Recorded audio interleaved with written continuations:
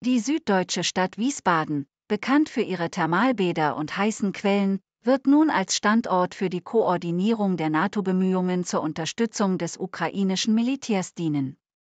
Dort hat die NATO ein neues Kommandozentrum eröffnet, um die Planung, Koordination und Regulierung der Sicherheitsunterstützung für die Ukraine zu übernehmen.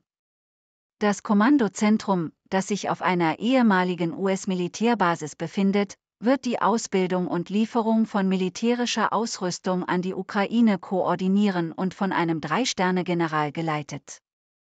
Dies ist das zentrale Element des NATO-Programms für Sicherheitsunterstützung und Ausbildung der Ukraine, das bekannt gegeben wurde, als sich die Führer der Allianz in der vergangenen Woche auf dem jährlichen Gipfel in Washington trafen.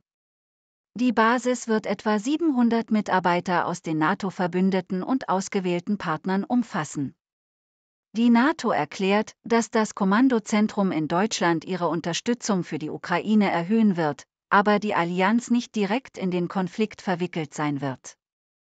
Die Eröffnung des Zentrums wurde auf dem Gipfel in der vergangenen Woche diskutiert, als die Allianz auch erklärte, dass die Ukraine auf einem unumkehrbaren Weg zur Mitgliedschaft in der Organisation sei. Obwohl die Erklärung positiv ist, könnte der NATO-Beitritt der Ukraine nicht unmittelbar bevorstehen.